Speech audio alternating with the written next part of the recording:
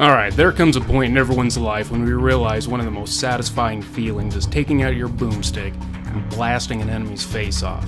Now, if you happen to know someone who is disgusted at the thought of exacting this divine act of point blank vengeance, you'd better make sure to cut them out of your life.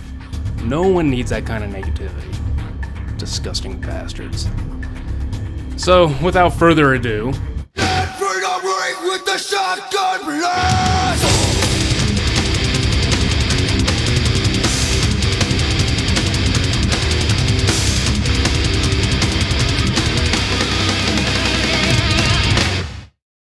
Working worst to first, we're going to start off this list with what looks like a cool super industrial strength stapler.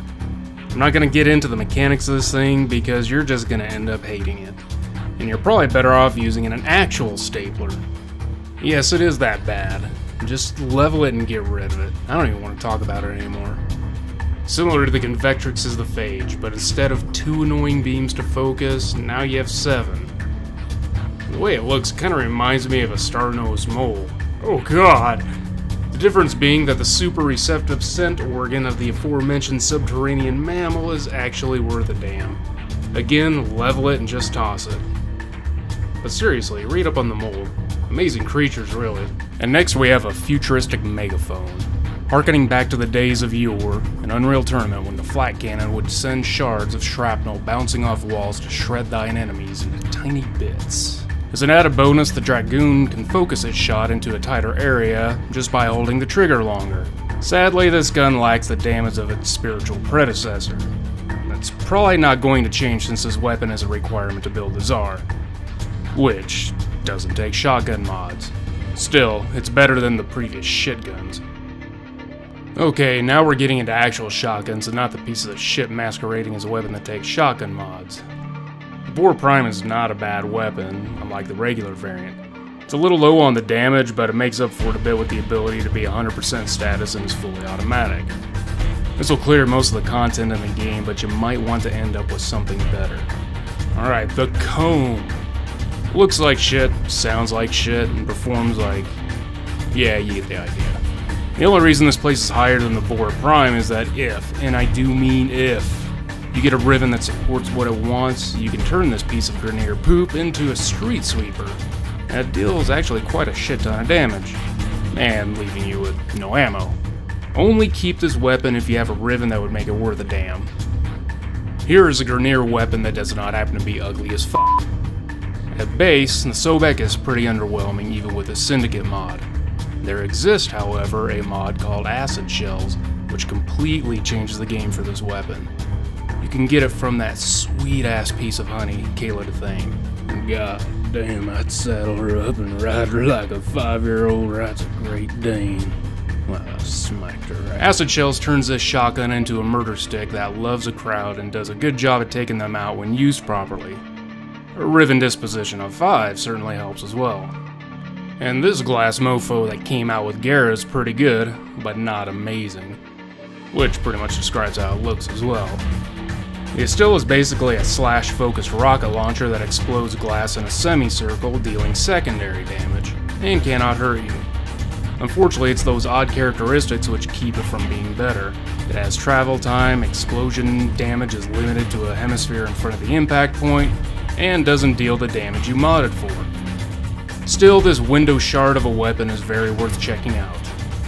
The Corinth. Sounds badass, looks badass, and has an alt fire you'll probably never use because of its fixed mechanics. The air burst has to travel 20 meters in the air, which means you can't just target the ground. Oh, and it only deals blast damage. Still, load this thing with some punch through and Hunter Munitions because of its higher crit chance, and you'll be having a good time. I mean, I can't wait for a primed version of this thing. Oh, and that rich Corinthian leather you hear about? Yeah, those cows were shot with this. The Vaykor Hek.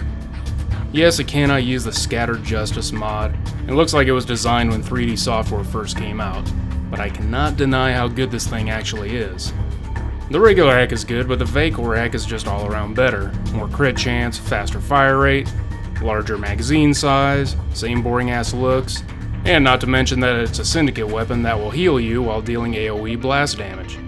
you should definitely have this in your arsenal. The Strun Wraith. So you've gone through the Strun variants and hated them. We all have. And like the Corinth, the one shell at a time reload can be annoying, but god damn, this thing can deal out some punishment. It has high damage, the ability to achieve 100% status, and have a Riven Disposition 5. It could be harder to get, but damn, is it worth getting this film canister with a lens strapped to the front. Ooh. Next we have the Ignis Wraith, with a... Wait, what? I must apologize. I get confused because it does the same damn thing. Yes, this is essentially a flamethrower that takes shotgun mods. DE dropped a bomb on me and released a new shotgun, if that's what you want to call it, while I was making this video. I should hate this ugly monstrosity that sounds like you're fisting a jar of mayonnaise when you're firing it. Well, grab some mayo and try it, you'll see what I'm talking about. Though it seems like DE is running out of ideas at times when making weapons, holy shit, this thing is actually better than the flamethrower. The emulsified egg yolk icing on top of this deformed birthday cake is that it has a secondary fire which is pretty good, blowing shit up at the cost of three rounds. I'll take it. Watch out though, it'll kill you. Did I forget to mention that the Phantasma reloads fast? Like really, really fast? This just came out and may get nerfed, but right now this shotgun made two weapons obsolete in one go, the other being the Ogris. Not that anyone was actually using the Ogris. We're down to the final two weapons, and I had a really hard time deciding if this should be the overall number one shotgun in the game, just because of how useful it is in most of the content of Warframe.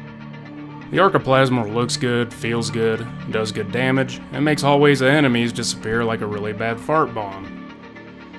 Equip this on a Mirage and oh my god, this gun might end up being your bell cow. I really hate this weapon. Kidding, damn, chill the fuck out. Surprise, surprise that the Tigris Prime lands at number one. The damage it deals is of absolute biblical proportions, yet amazes me how many people do not mod this for 100% status. Learn effective damage, people. With its redonkulous damage and tight choke, giggity. You can even snipe a lot of enemies in. The only downside is, uh... Hmm. Okay, so it's going to be way overkill for low to mid-tier missions. But for most of the content of the game, just use its little brother, the Sancti Tigris. Not as much, but still a lot of damage, faster reload, and a corrosive syndicate proc that heals. The Tigris Prime should be your boomstick of choice for eradicating those pesky bosses. Are you a twisted son of a bitch that actually likes the Convectrix? Or think the order of the weapon should be different? Leave a comment below and tell me what you think. If you're new here, like and subscribe for more videos and great souffle recipes made with grub worms. As always, thank you everyone, and take care.